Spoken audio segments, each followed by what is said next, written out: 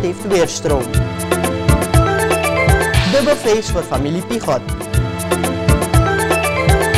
En Rooms-Katholieken houden nachtwaken. Hey, fijn dat je weer kijkt naar jouw 10 minuten jeugdjournaal.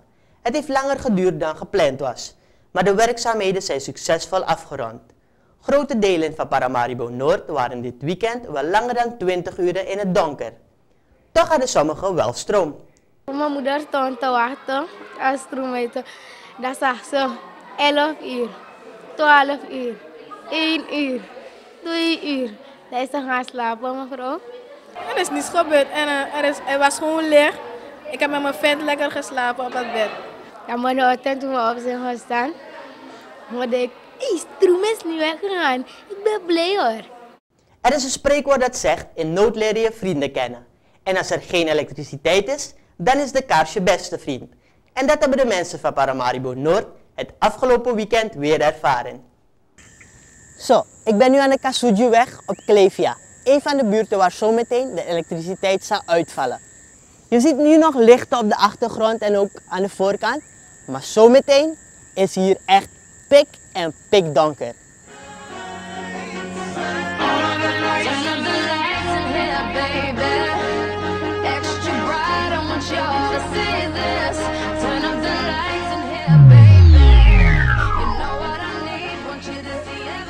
En precies wat ik al zei, het is nu letterlijk pik en pik donker. Maar gelukkig heb ik mijn batjang flashlight bij me. Ik hoor hier achter me wat muziek en ik zie ook een paar kaarsjes branden. Dus we gaan even kijken wat er daar gebeurt. Komen jullie met me mee?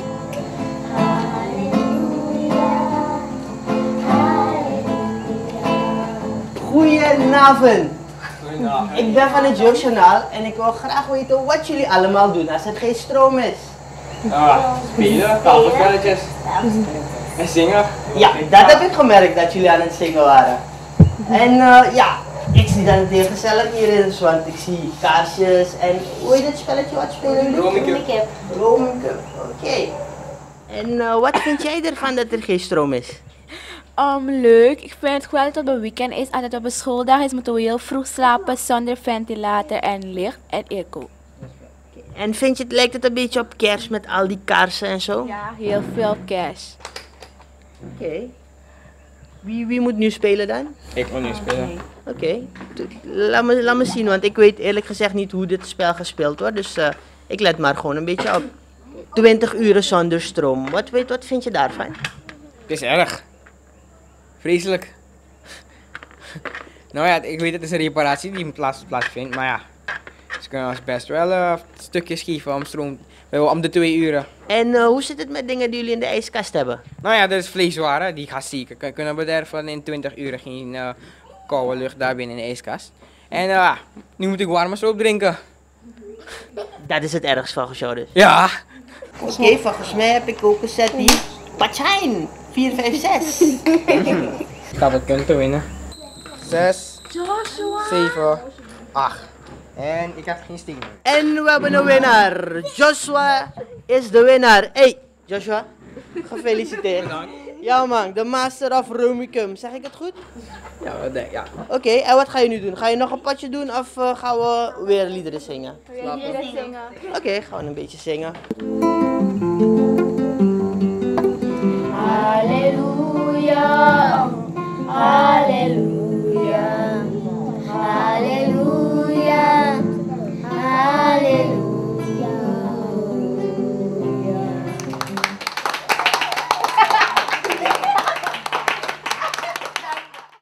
zo zie je dat ook al heb je geen stroom en je niet naar tv kan kijken of kan gamen, je het toch leuk kan maken.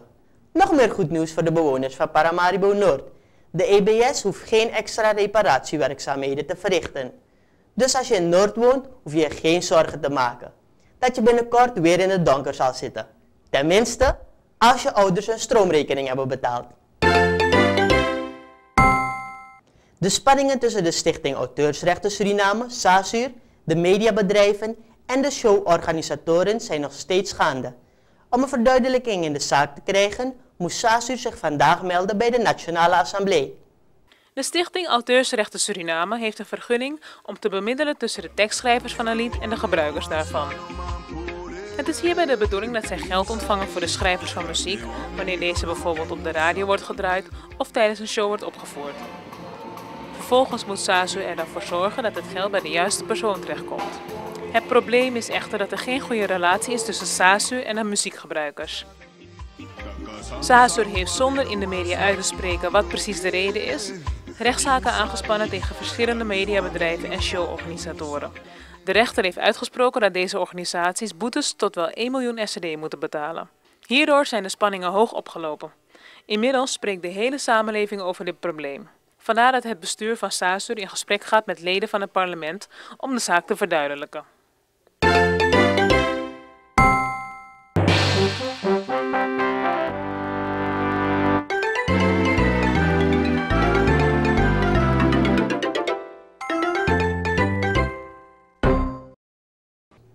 Bij ongeluk met de cruiseschip zijn er 6 doden en meer dan 10 gewonden gevallen. Er worden nog 16 mensen vermist. Het luxe cruiseschip Costa Concordia liep zaterdag vast op een rots voor de kust van Italië. Het begon langzaam te zinken. Er was grote paniek toen het schip begon te zinken. Veel mensen werden met reddingsboten en helikopters van het schip gehaald. Anderen sprongen in het water. Gelukkig zijn er wel heel veel mensen gered. Aan boord van het schip waren er meer dan 4000 mensen. Dat het zo mis kon gaan komt door de kapitein, zegt het bedrijf van wie het schip is. Hij is te dicht langs een eiland gevaren. De kapitein is opgepakt en moet waarschijnlijk voor de rechter komen. Het cruiseschip ligt nu op zijn kant in het water. Reddingswerkers zijn het hele weekend bezig geweest de cabines te doorzoeken om te kijken of er nog mensen aan boord zijn achtergebleven. Het reddingswerk bij de cruiseschip voor de Italiaanse kust is tijdelijk stilgelegd. Het schip glijdt weg van de rots waar het vrijdagavond op vastliep. Het is daarom nog even gevaarlijk om naar binnen te gaan.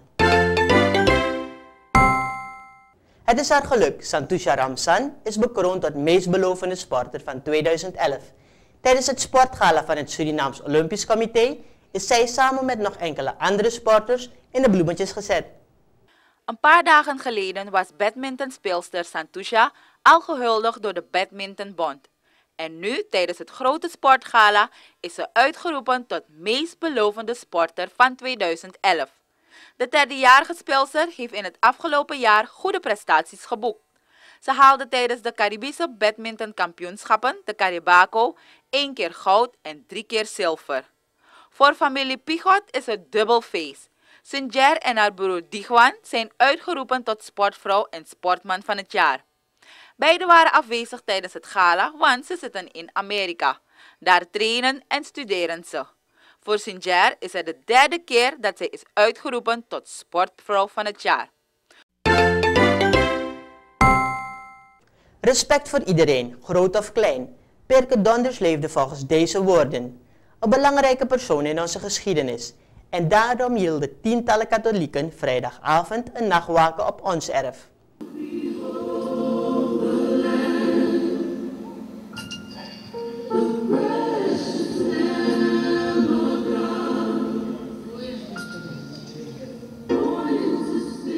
Bidden, zingen, dansen en samen zijn.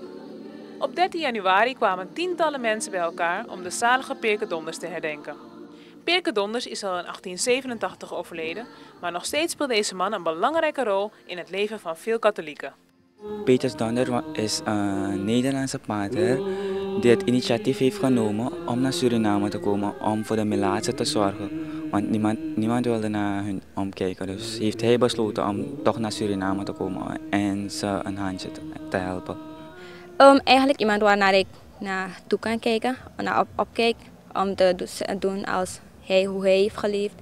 Als het ware heeft hij gedaan wat God van hem heeft gevraagd. En dus als het ware ook doen wat God van mij vraagt. Om het op die manier of op een andere manier te doen.